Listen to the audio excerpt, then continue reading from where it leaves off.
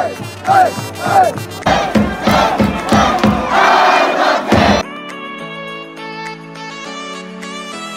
いどうも山本さんです。そこのお父さんよく言ってくれました。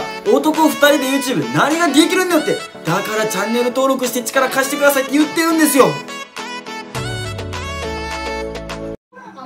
いと飲めちゃうよ。いただきます。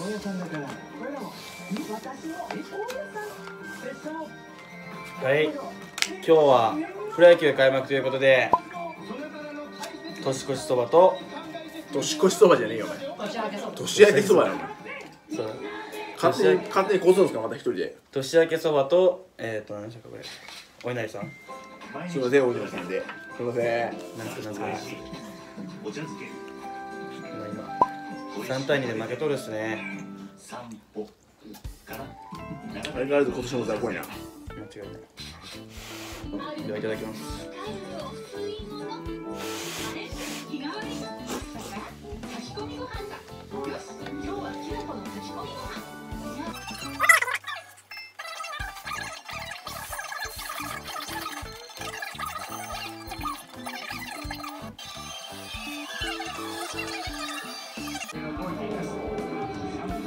別に神宮でやる必要ないですよね無観客なら。名古屋ドームとかもそうですけど別に名古屋球場でやくないですけど確かにそうやな。それ言うやったらさ練習試合とかもそうじゃない？なんでなんですかね？あんなんさいちいちそんな名古屋ドームとかさ莫大な電気量使うわけやん。東京ドームとかさ、まあ、な中日が名古屋ドームでやるのはまだ分かるよ。でも巨人が東京ドームでやるのはよく分からないよ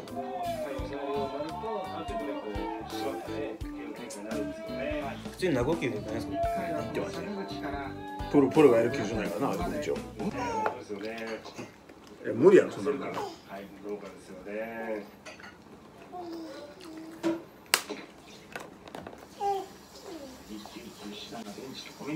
そんないっぱい来年度かけるから大島が今スタートしてきまた太ってくるじゃないですか昨日電話無視したくせに。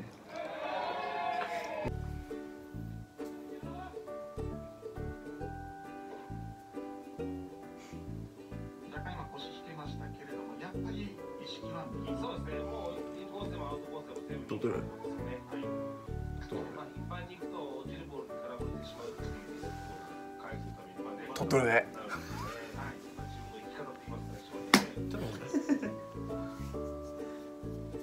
皆さんもうねこれ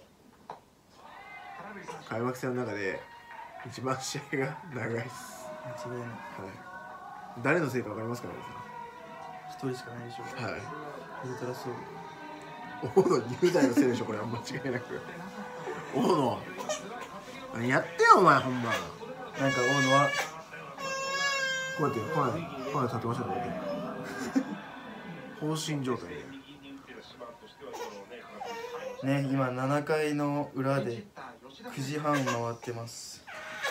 いつ終わるか分かりません残業させられてる気分です。確かに。